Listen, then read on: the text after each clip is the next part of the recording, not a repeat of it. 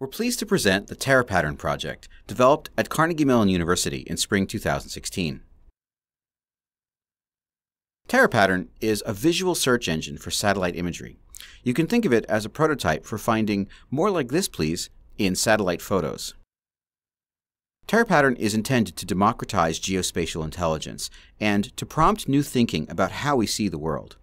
We hope it will help citizen scientists, artists, humanitarians, and other curious people to discover patterns of interest. TerraPattern can search for lots of things, but it's particularly well suited for locating things that can't usually be found on maps, such as specialized non-buildings and other forms of soft infrastructure. We think TerraPattern is important because it's open source, open access, and open-ended. TerraPattern is not a company or startup. It's an experimental research prototype whose purpose is to present a new way of exploring, understanding, and organizing the world. To use TerraPattern, just click an interesting spot on the map. TerraPattern then finds other places that look similar. Let's do a live demo. Here, we can see our building at Carnegie Mellon. Let's search for things that are similar to some of our favorite features. For example, here are some tennis courts. If I click on those tennis courts, you'll see that I find all of the other tennis courts in the Allegheny County area. This is a geographical plot which shows where they're located, and here is a similarity plot representing them using t-SNE. If I click around, I can see the other tennis courts that I've found. Let's try another search. This is Carnegie Mellon's football stadium. I'm going to click in the very center where the logo is, and you'll notice that I find the logos of all of the other football stadiums in the Allegheny County region. Let's do some exploratory searching in the San Francisco area.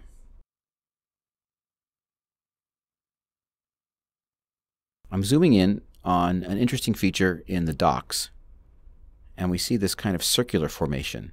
When I click on it, I find all the other kinds of circular formations in the area. Panning over, Let's check out these docks. Here are some more boat docks. And now I'm going to pan over. Those pins indicate all the similar looking boat docks in the Bay Area. They can be downloaded as a GeoJSON file indicating their geospatial coordinates.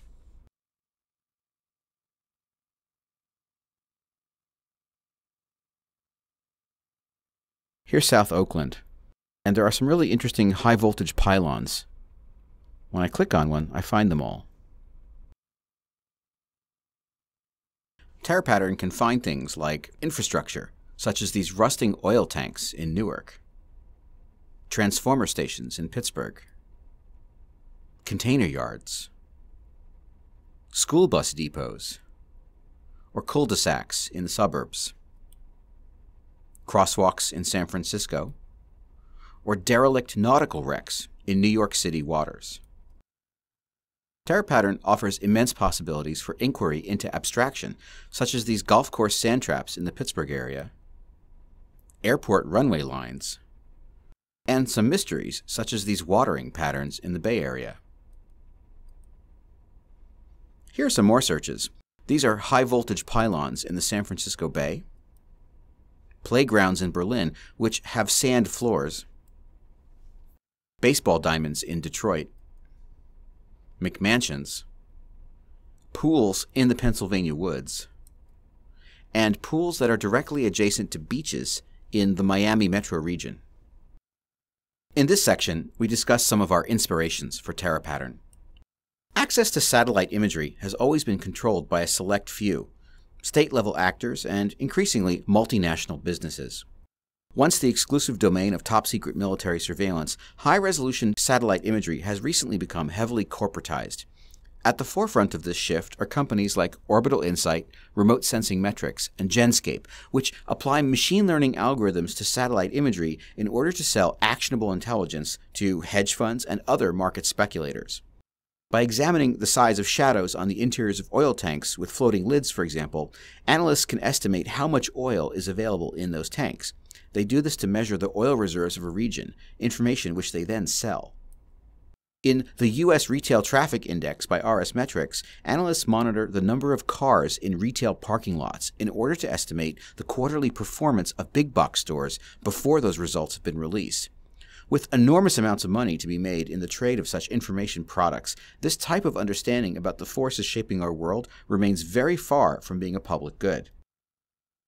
We wondered what if there were a public tool for everyday people, activists, and scientists? There are already some specialized search tools like this. At the forefront of environmental efforts is the nonprofit organization Monitoring of the Andean Amazon Project, which uses satellite imagery and custom computer vision software to analyze the Amazonian rainforest. In some of their best known work, they detected illegal logging roads, which are key precursors to deforestation. The combination of satellite imaging and machine vision has also had a major impact on our ability to track animal populations. For example, a team of scientists led by Peter Fretwell was able to track Antarctic penguin populations and take measurements of their diets by observing their poo from space. The combination of satellite imaging and machine learning is also useful in humanitarian causes. These are tukuls, a conical mud hut commonly found in East and Central Africa. One of the clearest indicators of an attack on civilian communities is the apparent destruction of these traditional buildings.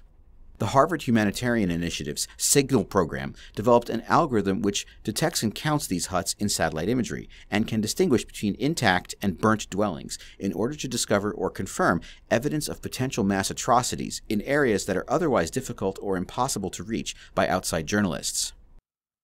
These techniques have also been used in archaeology. Egyptologist and space archaeologist Sarah Parcak has used machine learning to discover 17 pyramids and thousands of tombs, all from orbit.